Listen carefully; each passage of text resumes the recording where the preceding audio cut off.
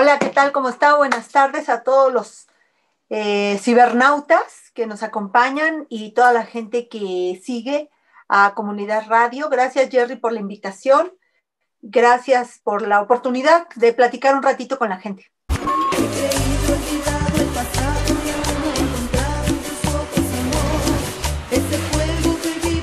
Pues afortunadamente me considero bendecida porque nací con el don de poder cantar y luego tuve la fortuna de llegar al, al lugar exacto, en el momento exacto, con las personas exactas, para poder, este, para poder marcar y dejar algo, algo que podría ser el legado. Espérame tantito, cállate. Para que nos presentes a, a la mascota. Mira, sí, esta es mi compañerita. Ah, Tomás, cállate. Por favor, compórtate. Ya. Tranquila. Y este, entonces, tuve la oportunidad y, y- y trabajé mucho, la aproveché al, todo lo que pude y he seguido trabajando en eso. Entonces, me considero afortunada, bendecida y, y con mucha suerte.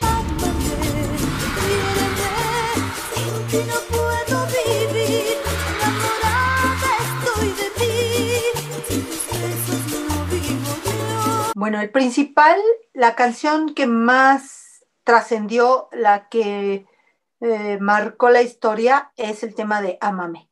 Esa es la que todo el mundo reconoce. Ok. Y después de esa hubo temas como He creído, como Vuela Mariposa, que también se colocaron así en lugares muy importantes. Otros temas que son como Me prometiste amor. Eh, bueno, hay temas que yo ni siquiera sabía que la gente escuchaba y que de pronto me los pedían, que ni siquiera estaban este, ensayados, pero la gente al comprar el disco en la época de los discos, de los cassettes, pues eh, escuchaba todo, ¿no? Eh, un lado, luego el otro, y de pronto la canción que quedaba por allá en el número 8, 9, que pues realmente siempre era una como, escogían como que esta es la buena y esta también y esta también. Y las otras siempre se les llamaba de relleno. ¿no? O sea, siempre era, tienen que ser 10 temas. Ah, pues hay que meter este, otro, pues ese, un cover, no sé, cosas así, ¿no? Sí, sí, sí. y eventualmente tocas a las personas con esa canción, por lo que dice, por la música, por el momento que estaban viviendo. De pronto, si hablas de desamor y en ese momento alguien está pasando por un trance así, pues lo tocas, ¿no? Y, y si en ese momento la canción lo dice de una manera, tú lo cantas de, de, de esa cierta manera también, ahí quedas atrapado, porque a mí me ha pasado con muchas canciones también, ¿no? Sí. Entonces, este, eh, son muchas canciones las que, las que la gente en su momento le quedaron prendadas, prendidas de, su alma y marcaron su juventud, sus noviazgos, sus primeros amores, o cuando pasó algo también triste. Entonces, este, pues yo creo que son unas 10 canciones así que, que, que se escucharon en el radio, que se siguen escuchando en el radio, que siguen formando parte de estos discos de recopilación de éxitos o de los noventas o de los cumbias o de todo aquello. Y, eh, y, y son 10, 12 canciones.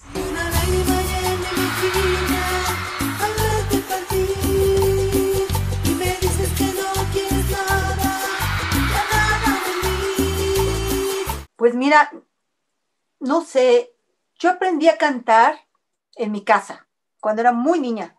Desde los seis años me gusta la música. Desde, desde que aprendí a poner los discos, en mi casa ya no hubo paz.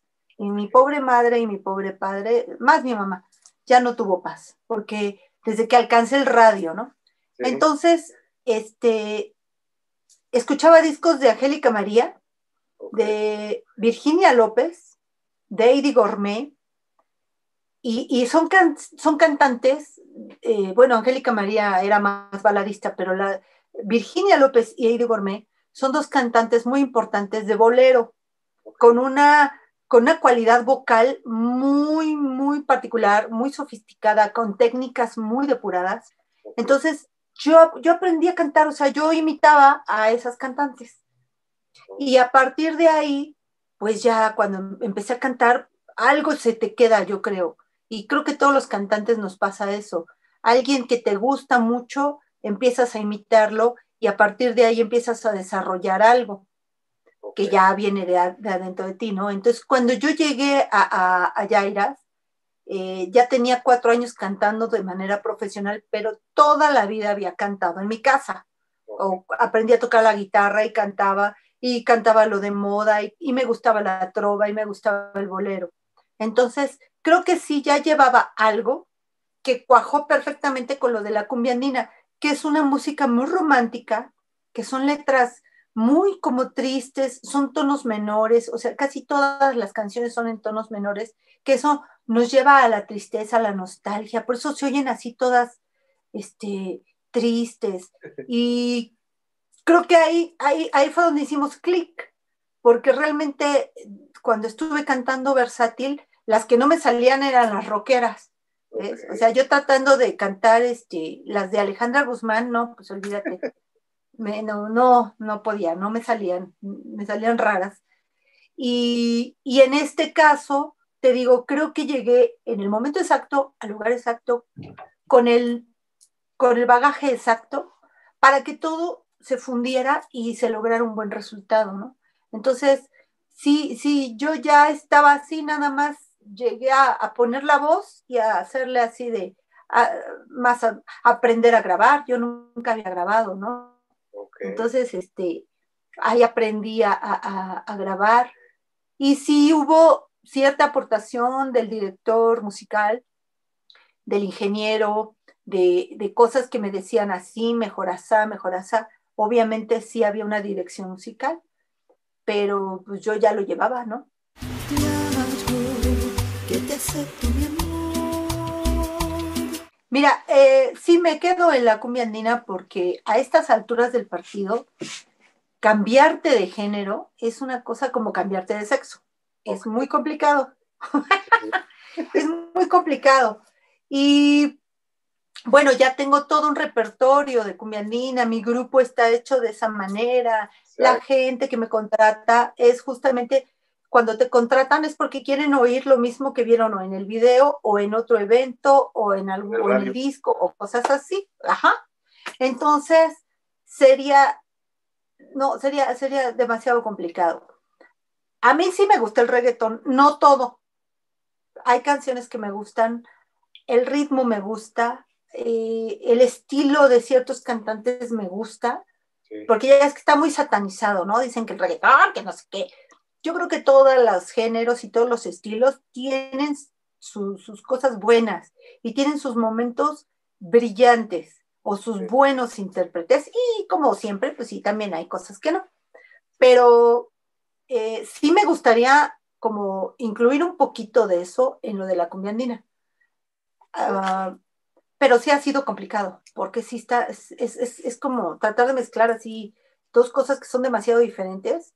El ritmo no va con las letras tan románticas, de Exactamente. pronto, ¿no? De pronto. O, o las letras del reggaetón no van con la música, con, las, con el- la dulzura de las flautas, con las cuerdas del charango y cosas así. Entonces, ahí hay complicación, pero, pero sí me quedo en la cumbia andina y he hecho participaciones con otros compañeros donde ya no es tan cumbia andina, ya es más cumbia, pues le podríamos decir colombiana o chilanga o mexicana, no sé, hay muchos estilos de cumbia, Sí. pero sigue siendo cumbia, sí sigue siendo cumbia. Así lo quiso Dios.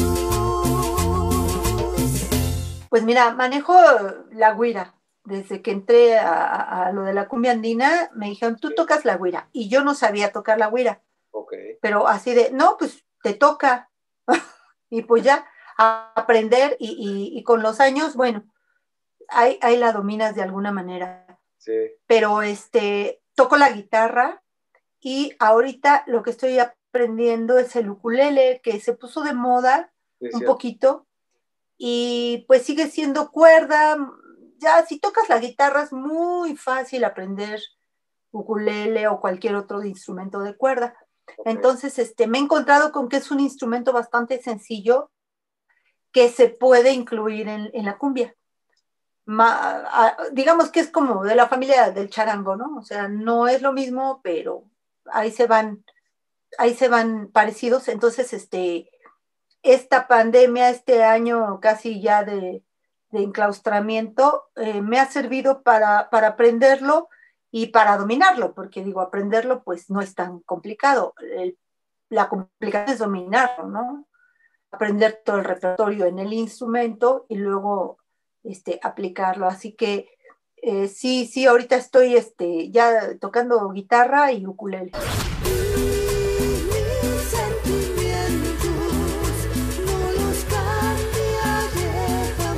No se nos cayó todo. Ya veníamos muy bien, o sea, ya habíamos agarrado un ritmo de trabajar todas las semanas. Todas las semanas estábamos trabajando y, y se cayó todo, todo lo, todo lo que ya estaba hablado, firmado, adelantos, todo se vino abajo. Hubo gente que me habló, este, que ya habían contratado el, el grupo y pues que se pospusiera eh, para un mes, dos meses, ¿no? Porque según esto que en abril, que en mayo, que en agosto, que en julio,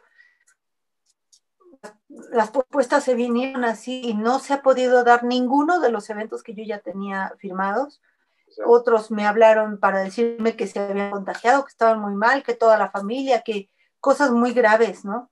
sí, Entonces, este, sí, fíjate que, pero sin embargo, creo que somos un gremio muy fuerte, muy chambeador, y ahorita la música, de- definitivamente la música eh, es inherente al ser humano, y el mexicano no puede vivir sin música, es un fenómeno que yo he visto ahorita, sí, eh, que hablaba justamente con mi hermana hace rato, que los eventos en línea de los grupos de cumbia o tropicales, Sí, yo no he visto que tengan como mucha, como mucho éxito, ¿no? O sea, comparado con los poperos, por ejemplo, o los baladistas, que sí han metido mucha gente. Porque he visto más compañeros que no han dejado de trabajar. Toda esta pandemia no han dejado de trabajar. Pero van solos, el cantante con una bocinita, con una computadora, con pistas, y la gente ahí bailando a un ladito porque están en el patio o en una sala. O sea, yo veo que la gente prefiere tener algo de este tamaño diminuto, una sola persona cantando, pero en vivo, para poder bailar, para como que el ambiente. No veo a la gente conectada a su computadora y que estén bailando en la fiesta o que hagan la fiesta con, la, con, con el video en vivo. No, no los veo así. sí, Entonces, eso es un punto en el que no ha funcionado los, los conciertos que han tratado de hacer muchos compañeros, muchos grupos. Y bueno, yo no veo que funcionen mucho. Entrará gente, pero para que sea algo que esté continuamente, no, no ha funcionado. sí, Pero entonces, pero la, porque la gente sigue prefiriendo la música en vivo. Claro. Entonces, los que nos dedicamos a la música bailable, ahí está, ahí está el, el- el- la gente, y, y sí, la gente se sigue casando, sigue haciendo bautizos, sigue este, cumpleaños, el aniversario, todo lo sigue festejando, gracias a Dios. Los mexicanos somos este, unas maracas vivientes, así, o sea, la rumba, la música, la, la fiesta, el baile, eh, todo eso, ¿no? Es parte de nuestra idiosincrasia, de nuestra humanidad. Hemos intentado hacer, los intentos que hemos tenido, no le, no le gustan a la gente. No, tienes que cantar, o sea, por ejemplo, hacerle nuevos arreglos a las canciones es complicado porque la gente los quiere oír como los oía en el Bueno. disco. Y pues así, digo, si eres un producto, estás presentando un producto, pues lo tienes que dar como lo quiere el cliente. Y, y tenemos que entender los músicos que para mí es el año 18, no, ¿cuántos años tengo cantando esa canción de Ámame? Tengo 23 años cantando esa canción, wow, ¿no? 23 años, a veces en un evento dos, tres, tres veces. Entonces, para mí es la milésima vez que la voy a cantar, pero para las personas que están ahí presentes, a lo mejor es la primera vez que la van a oír en vivo Exacto. y, y eso hay que entenderlo. Entonces la tienes que interpretar como si fuera también con esa frescura y con esa emoción para que logre llegar ahí. Fíjate que estamos en todas las redes, estamos en Twitter, en Instagram, en LinkedIn, en YouTube, en Facebook. Tenemos una página que es www.monicaresendiz.com Ok. y eh, sí tengo un TikTok, pero lo tengo ahí abandonado porque como que no le, ag- no le agarro la onda. Sí, no. No, o Está sea, complicado. está así como que veo los videos y digo, ay, no, yo no voy a hacer eso. Tienes razón. Pero, pero creo que sí vale la pena. eh, o sea, ¿cómo te diré? No quiero hacer porquerías. Ok. No quiero publicar porquerías, nada más por publicarlas o porque te siga la gente o porque lo que sea, ¿no? Mejor no publico nada. Por eso no he publicado en TikTok. Solo tengo, creo, dos videos de un perrito y de no sé qué, y Ok. ya. Pero sí, le voy a, le voy a echar este cerebro y vamos a publicar algunas cosas ahí en TikTok. Y bueno, los invito a que visiten las redes, el canal de YouTube con los videos que tenemos en vivo, eh, grabaciones que hemos hecho. Eh, tenemos muchísimos videos, tenemos ahí 10 años de, de videos. No miento, porque fue en 2009 que lo sacamos. Este, 11. más de 10 años de videos, que, que digo, ya es algo, y se puede ver, se puede ver muy claramente la evolución del grupo, la evolución musical, cómo empezamos, cómo seguimos, y ahorita lo, lo que hemos hecho últimamente. Así que los invito a que, a que ahí este, pues nos visiten. Y próximamente vamos a estar estrenando algunos temas, algunas participaciones que voy a hacer con otros compañeros de otros grupos. Wow. Yo creo que para marzo vamos a estrenar esos temas. Ya, ya se anunció, Ah, eh, un- uno lo vamos a hacer con los amigos del grupo Digital Charam, un, un tema inédito de su autoría de, de- de uno de ellos. Y el otro es un tema que yo grabé hace muchos años, de lo de Andino, eh, con el grupo Samare, que ellos también son, son buenos amigos. Y otro tema que voy a grabar por mi lado, ya como Mónica Reséndiz, algo súper andino, muy, muy, muy boliviano. Y otro tema que también se va a estrenar, que hice el año pasado, y ahí se quedó, porque se- según esto se iba a estrenar en octubre, luego en noviembre, en diciembre, cuando vengan las fiestas, y ya ves que no hubo fiestas de Sí, nada. no, fiesta. Entonces ahí se fue quedando el tema, pero este, ya lo van a estrenar, creo, entre esta semana y la otra, algo también muy bonito con un amigo que se llama Horacio. Y, y, pues sí, yo siento que las cosas están arrancando, ¿ves? Porque, porque arrancan solas. O sea, estas invitaciones que me llegaron, ese tema que se va a estrenar, tu invitación de la, de la entrevista, Sí. otra entrevista que hice la semana pasada, otra que voy a hacer la semana que entra, todo va llegando. Entonces yo creo que es por eso, porque ya se está moviendo la energía de, de volver, de, de que vuelva a empezar todo. Una carta que decía adiós cariñito, adiós corazón. Así es, así es, y se los agradezco infinitamente a todos los amigos que, pues, que han estado a través de esos más de 20 años en esa historia de andina. Es muy bonito. eh, a veces llega gente, pues que tú los ves así, no tan grandes, y me dicen, yo estaba chiquito cuando sonaba eso y mi mamá ponía esa canción en las fiestas, y van con sus hijos. Eh, Y los hijos también conocen esa música porque les gusta a ellos, que son los papás y a la abuela, y, y en las fiestas siempre terminan bailando algún tema de esos, ¿no? Entonces, ir viendo esa, esa formación de, de- generaciones que vas existiendo en la vida de, de- de esas familias de generaciones, pues es muy bonito, es una satisfacción bien bonita. Yo se los agradezco siempre de, de corazón, que se acerquen y que me digan esas cosas, es bien bonito.